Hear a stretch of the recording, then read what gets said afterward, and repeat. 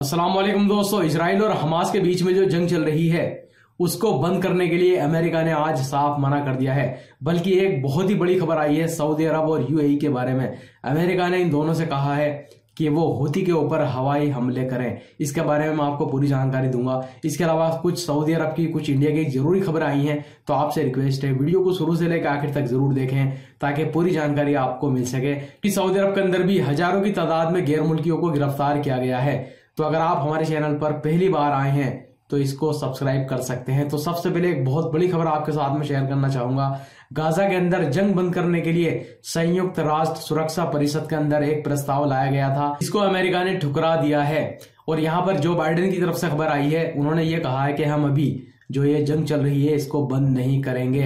और वो क्यों नहीं करेंगे तो आप यहाँ पर खबर देख सकते हैं। एक लड़का जो है, दिखा रहा है गाजा के अंदर जो मिसाइल गिरा है, उसके अंदर से जो पेपर निकले हैं, जो मटेरियल जो है, वहाँ पर इधर उधर बिखरा है। उस पर साफ़ लिखा हुआ है made in America made in US से जो गाजा के अंदर हमले किए जा रहे हैं, मिसाइल से, बमों से, वो सभी जो है अमेरिका से ही आए हैं, जिन पर मेड इन यूएसए लिखा हुआ है।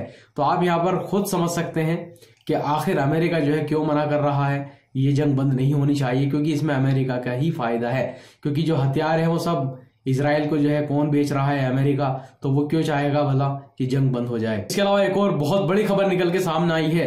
तो जैसा कि आपको मालूम है, पूरी दुनिया में जो सफ़ेद फास्फोरस है, उस पर बैन लगा हुआ है, प्रतिबंध लगा हुआ है। लेकिन आप यहाँ पर देख सकते हैं, लगातार आज भी जबालिया कैम्प में जो यूनाइटेड नेशन का स्कूल है, उसके अंदर इसराइल ने फास्फोरस के बम गिराए हैं। और इसके अलावा एक और बहुत बड़ी खबर निकल के सामने आई है। अमेरिका ने सऊदी अरब से, यूएई से, और इसके अलावा और भी जो गल्फ कंट्रीज़ हैं, उनसे कहा है कि सब एक साथ मिलकर के होती के खिलाफ में हमले करें। आखिर यहाँ पर यह समझ में नहीं आ रहा है कि आखिर अमेरिका चाह क्या रहा है? क्योंकि जैसा कि आपको मालूम है, अगर हूती जो है हमले कर रहे हैं, वो किस वजह से कर रहे हैं? क्योंकि इसराइल जो है गाजा के ऊपर हमले कर रहा है, फिलिस्तीन के लोगों के ऊपर जो है जुल्म कर रहा है। इसी वजह से जो हूती संगठन है यमन का, वो इसराइल के ऊपर हमले कर रहा है। तो यहाँ पर अमेरिका को क्या होना चाहिए कि जो जंग चल रही है, गाजा के अंदर जो इसराइल जो है बर्बरता कर रहा है, उसको खत्म कर दे। तो होती जो संगठन है, या हिजबुल्ला है, या हमास है, वो अपने आप ही जो हमले कर रहे हैं, वो हमले करना बंद कर देंगे।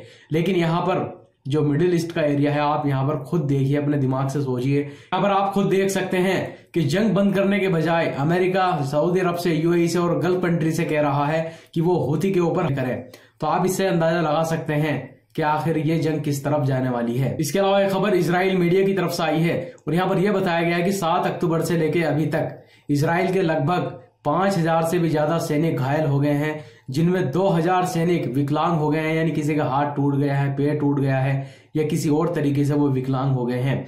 और यहाँ पर यह बताया गया कि हर दिन साठ जो इसराइल के सैनिक हैं, वो विकलांग हो रहे हैं, घायल होकर के जो है वो पहुँच रहे हैं। इसके अलावा हमास की तरफ़ से एक वीडियो जारी की गई है, जिसमें देखा जा सकता है कि हमास के पास भारी मात्रा में हथियार, मिसाइल वगैरह मौजूद हैं। और उसने यहाँ पर यह वीडियो जो है जारी की है, जिसमें उन्होंने लिखा है कि हम तेल अबीब को जलाकर राख कर देंगे। इसके अलावा इसराइल के एक आर्मी की वीडियो काफ़ी तेज़ी से वायरल हो रही है सोशल मीडिया पर, और लोग इसराइल की आर्मी को बुरा भला कहते हुए नज़र आ रहे हैं, क्योंकि इनके काम ही कुछ ऐसे हैं। तो आप यहाँ पर वीडियो में देख सकते हैं, जिसमें देखा जा सकता है कि गाजा के अंदर जबालिया कैम्प में एक दुकान है बच्चों के खिलौने की तो इसराइल का जो सोल्जर है, वो खिलौने तोड़ता हुआ नज़र आ रहा है। अब बात कर लेते हैं सऊदी अरब की कुछ ज़रूरी खबरों की।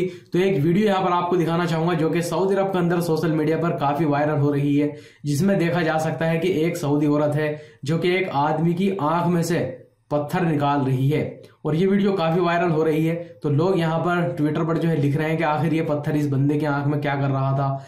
कुछ लोग कह रहे हैं कि इसने पहले इसकी आँख के अंदर पत्थर डाला और फिर इसको निकाला। और लोग जो है, करामात जो है बता रहे हैं। और मुझे ऐसा लग रहा है, जिस तरह से ये वीडियो वायरल हो रही तो देखिए, सऊदी अरब के अंदर ये सारी चीज़ें नहीं चलती हैं और ना ही ये सब चीज़ करना यहाँ पर अलाउ है। तो बहुत जल्द इस औरत को गिरफ़्तार कर लिया जाएगा। इसके अलावा रियाद पुलिस ने एक अपार्टमेंट से तीन लोगों को गिरफ़्तार किया है। और ये लोग, इन्होंने जो है, पहले एक कार चोरी की थी और उस कार का इस्तेमाल करते हुए जगह जगह ये डकैती कर रहे थे, लूटमार कर रहे थे। तो इन तीनों लोगों को गिरफ़्तार कर लिया गया है। इसके अलावा खबर Saudi ministry of human resource and social development की तरफ़ से आई है, जिसमें बताया गया है कि सन 2023 के अंदर यानी सिर्फ़ एक साल के अंदर ही सऊदी अरब के अंदर 23 लाख सऊदी शहरियों को जॉब दी गई है। तो आप इससे अंदाज़ा लगा सकते हैं और ये भी आपको पता ही है कि सऊदी जैसन हो रहा है सऊदी अरब के अंदर। हर मुल्की लोगों को हटा करके सऊदी शहरियों को जॉब दी जा रही है और ये आंकड़े जो है सिर्फ़ प्राइवेट सेक्टर के बताए गए हैं। तो सऊदी अरब के अंदर प्राइवेट कंपनियाँ हैं, उनके अंदर तेईस लाख सऊदी शहरियों को जॉब दी गई है। इसके अलावा एक खबर सऊदी मिनिस्ट्री ऑफ़ इंटीरियर की तरफ़ से आई है और यहाँ पर यह बताया गया है कि इस हफ़्ते सऊदी अरब के अंदर सत्रह हज़ार दो सौ सत्तावन ऐसे गैर मुल्की लोगों को गिरफ़्तार किया गया है, जिनके पास एकामे नहीं थे या भाग काम कर रहे थे। जो काम इनके एकामे में लिखा हुआ था, वो काम नहीं कर रहे थे, कोई और सा काम कर रहे थे। इसके अलावा इसमें ऐसे भी लोग थे जो कि बॉर्डर पार करके इलीगल तरीके से सऊदी अरब के अंदर आए थे। और इसके अलावा एक खबर उत्तर प्रदेश के घोसी मऊ डिस्ट्रिक्ट की आई है।